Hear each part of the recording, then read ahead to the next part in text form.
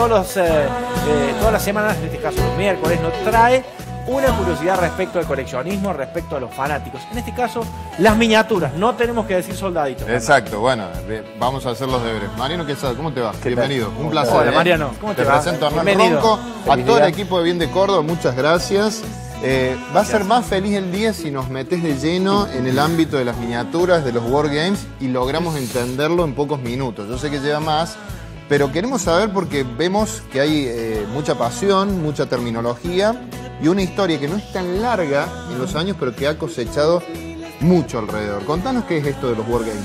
Bueno, los wargames son el- lo que sería el equivalente al juego de ajedrez mezclado con los soldaditos, los viejos soldaditos de plásticos en un tablero que normalmente es 1,50 por 1,80 con escenografía hecha también por los propios jugadores. O sea, hay trabajo artesanal para llegar Mucho, a jugar. mucho, Bien. mucho, mucho.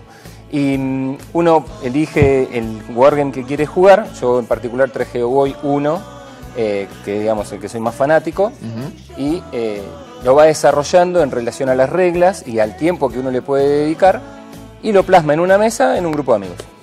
O sea, es Hora un juego, juego. que tiene un encuentro social, digamos, Muy grande, sí. pero que vos me decías cuando yo trataba de indagar un poco que no empieza ni termina con el tablero y la reunión. No, no, no, no, ¿Por lejos qué? de eso.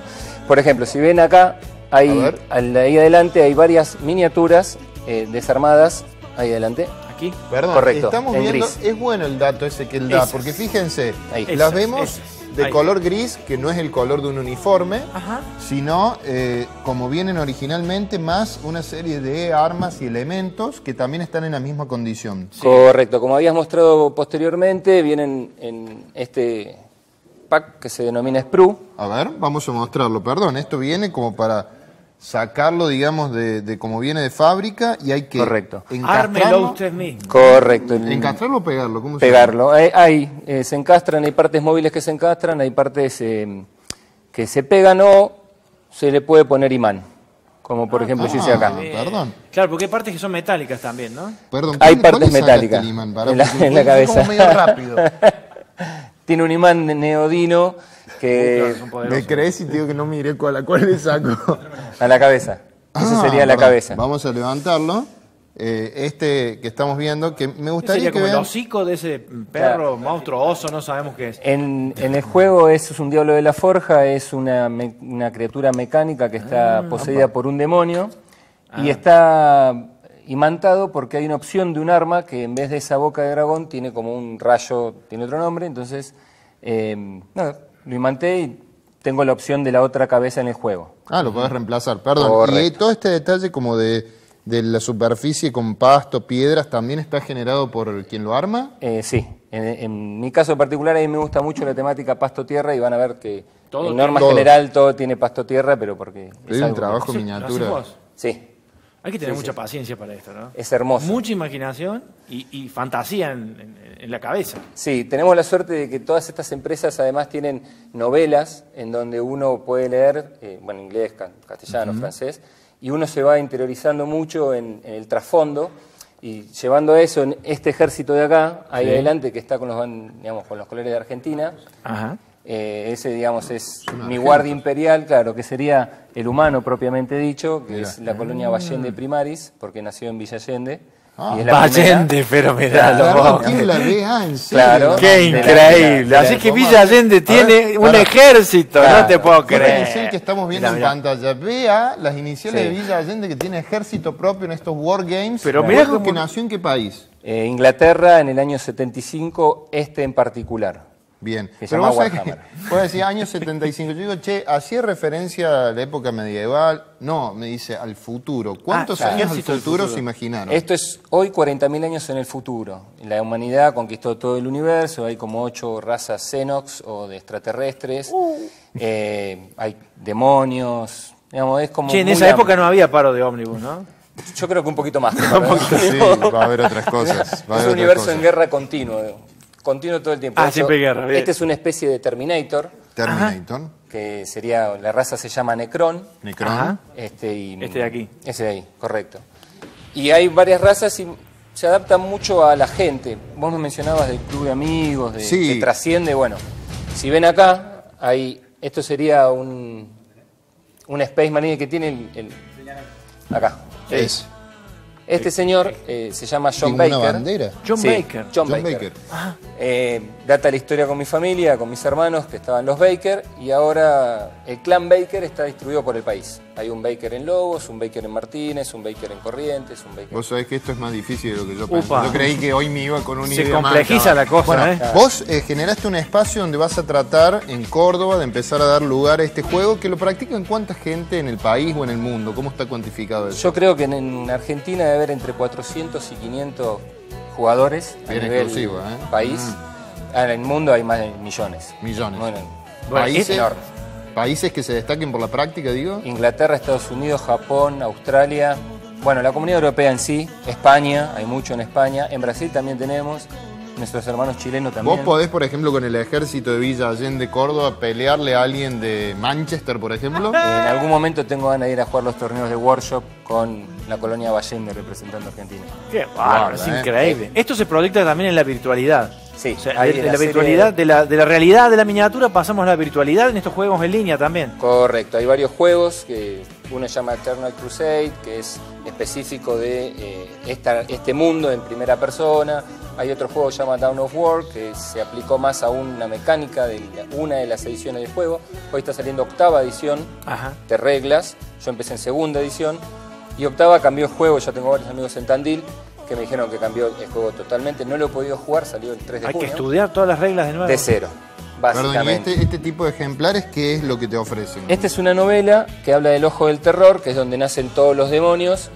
Uno leyendo esto es como que le empieza a dar eh, un trasfondo más importante a sus propias miniaturas. Ah. Y digamos, a lo que es el hobby, extiende mucho más de la mesa. Suerte que dijiste hobby, si no uno siente como que está fuera de una realidad No, no, de la es que si no le tenés amor es como eh, difícil entrarle. Bueno, eh, acá quería mostrar, porque están formalizados en distintos ámbitos, eh, torneos, competencias, el caballero tiene trofeos que no nos trajo, pero sí algunos diplomas Sí. que dan cuenta de su participación. Sí, ¿Esto este en era- dónde fue? Esto mm, era un torneo que se hacía, se llama MSUC, que se hacía en Buenos Aires.